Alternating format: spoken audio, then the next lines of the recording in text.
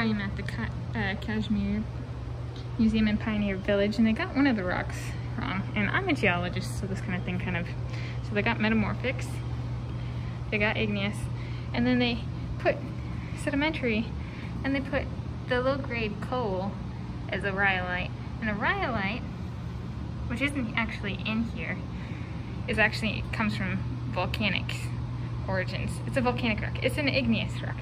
So they got it in the wrong place and they got the coal labeled as rhyolite. Um, so just a little blooper reminder that museums don't always put things on display, display, display correctly.